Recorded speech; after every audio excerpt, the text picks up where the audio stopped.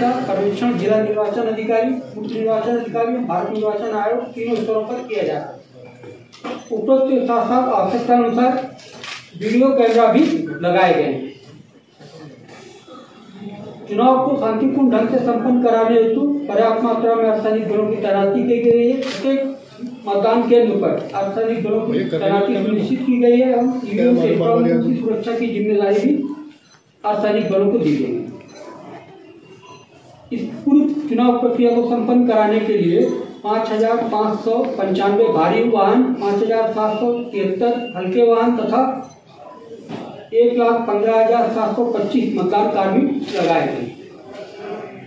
चुनाव में सभी चौबीस हज़ार छह सौ तिरालीस मतदेय स्थलों हेतु मतदान के लिए आवश्यक ईवीएम एवं वीवीपैट तथा अलग अलग जनपदों, पर्याप्त मात्रा में रिज़र्व ईवीएम एवं वीवीपैट की व्यवस्था की गई है।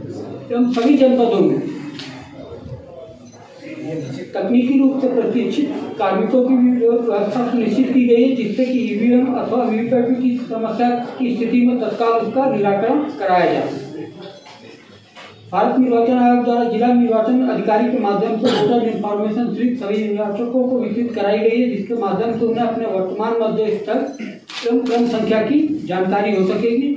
इसके अतिरिक्त मतदाता वोटर हेल्पलाइन ऐप भारत निर्वाचन आयोग की वेबसाइट के माध्यम से भी अपने मतदेय स्थल की जानकारी प्राप्त कर सकते हैं।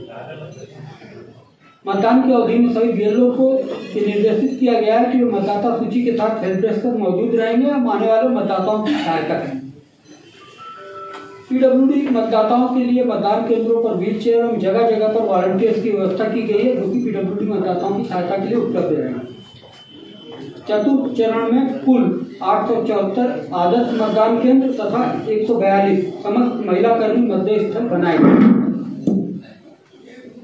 भारत निर्वाचन आयोग द्वारा विधानसभा सामान्य निर्वाचन 2022 के तृतीय चरण